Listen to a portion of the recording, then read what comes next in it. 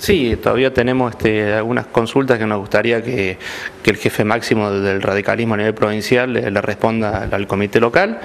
eh, inherente al tema de intervención, a la elección a dedo de, un candidato que no consideramos que represente hoy al radicalismo de Carlos Paz, que puntualmente Carlos Felpeto, que fue puesto a dedo entre Gallo y Medianoche en un acuerdo hecho en el, Comité Provincia, con la complicidad de, de Sapiola y todos los miembros de, de la conducción del Departamento Central. Y más allá de eso, creo que Ramón corresponde que dé algunas explicaciones respecto a lo nocivo que ha sido para Carlos Paz este, cuando sus legisladores no votaron elegido,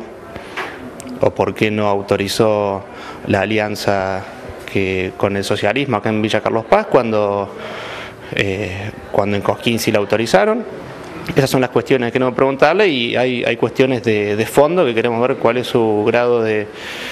de relación que tienen con Ramón Ortega, que fue el abogado que fue a hacer lobby a los legisladores junto con los desarrollistas de la Torre del Lago para que no se apruebe elegido. Esas son las cuestiones que todavía no nos han contestado desde, desde el Comité Central y menos desde, desde el partido.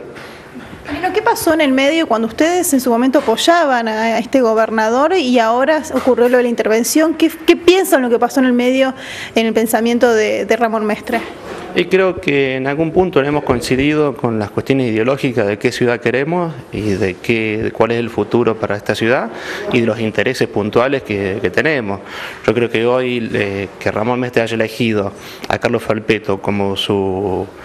su emisario acá en Carlos Paz, solamente lo que hace es este, una clara puesta en escena